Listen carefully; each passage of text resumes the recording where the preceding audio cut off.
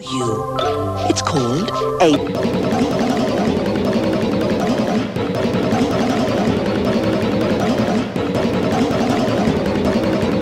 It's waiting for you. It's called ABC.